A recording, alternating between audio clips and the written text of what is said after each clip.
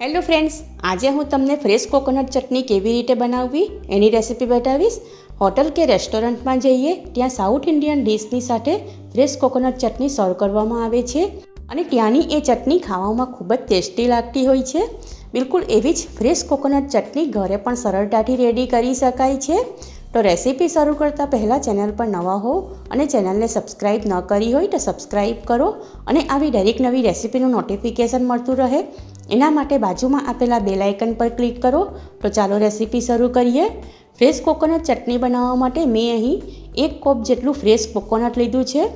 કોકોનટની છાલ કાઢીને એને આ રીતે સ્લાઇસમાં કાપી લીધું છે. સાથે એમાં નાખવા માટે ત્રણ નંગ તીખા લીલા મરચાં અને અડધો ઇંચ આદુનો ટુકડો. બે ટેબલ સ્પૂન દાળિયા એટલે કે રોસ્ટ ચણા દાળ અને બે ટેબલ સ્પૂન ફ્રેશ દહીં લીધું છે. એક ટેબલ સ્પૂન બારીક કાપેલા લીલા ધાણા અડધી ટીસ્પૂન જીરું અને મીઠું સ્વાદ પ્રમાણે. ચટણી બનાવવા માટે એક મિક્સર જાર લીધું છે. એમાં લીલા મરચાં અને આદું નાખીશું. સાથે એમાં દાળિયા જીરું, એક ટીસ્પૂન જેટલા બારીક કાપેલા લીલા ધાણા અને ફ્રેશ કોકોનટ એડ કરીશું. સાથે એમાં દહીં અને એક ટીસ્પૂન જેટલું મીઠું એડ કરીશું. હવે એમાં બે ટેબલ સ્પૂન જેટલું પાણી એડ કરીને જાળનું ઢાંકણ બંધ કરીશું અને બધી સામગ્રીને બારીક ગ્રાઇન્ડ કરીશું. હવે એક વારનું આ રીતે ગ્રાઇન્ડ કરી લીધું છે, તો એમાં જરૂરિયાત પ્રમાણે અડધો કપ જેટલું પાણી એડ કરીશું અને ફરી જાળનું ઢાંકણ બંધ કરીને બધી સામગ્રીને બારીક ગ્રાઇન્ડ કરીશું. હવે આ ફ્રેશ કોકોનટ ચટણી રેડી થઈ ગઈ છે, તો એને આ રીતના એક મોટા બાઉલમાં કાઢી લઈશું. ચટણી રેડી થઈ ગઈ છે, તો હવે એના માટે વઘાર રેડી કરીશું. વઘાર માટે જોઈશે રાઈ, આઠથી દસ કઢી લીમડાના પાન, બે નંગ સૂકા લાલ મરચાં અને તેલ.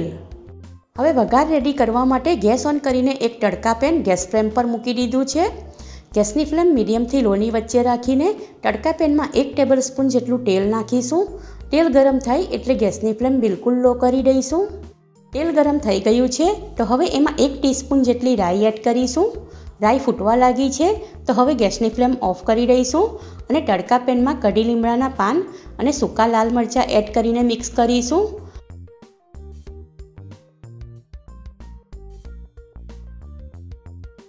હવે રેડી કરેલા વઘારને ફ્રેશ કોકોનટની ચટણીમાં નાખીને ચટણી સાથે સારી રીતે મિક્સ કરી લઈશું.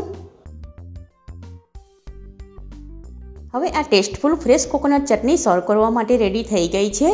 આ રીતે ફ્રેશ કોકોનટ ચટણી રેડી કરીને ઇડલી ઢોસા, મેંદુવડા ઉટ્ટપા કે અપ્પે સાથે ખાવાની પણ ઘણી સારી લાગે છે. કોઈ પણ south Indian dish fresh coconut chutney વગર અધૂરી હોય છે. એટલે જ્યારે પણ સાઉથ ઇન્ડિયન ડીશ બનાવવામાં આવે, ત્યારે ફ્રેશ કોકોનટ ચટણી બનાવવી પણ એટલી જ જરૂરી છે. આ રીતે ફ્રેશ કોકોનટ ચટણી બનાવવામાં આવે, તો ખૂબ જ ઓછા ટાઈમમાં અને સરળતાથી રેડી કરી શકાય છે. તમે પણ આવી ટેસ્ટફુલ ફ્રેશ કોકોનટ ચટણી ખાવા માંગતા હો, તો આ રેસીપીને એકવાર જરૂરથી ટ્રાય કરો. રેસીપી પસંદ આવી હોય તો રેસીપીને લાઇક અને શેર કરો અને સાથે મારી ચેનલને જરૂરથી સબસ્ક્રાઈબ કરો.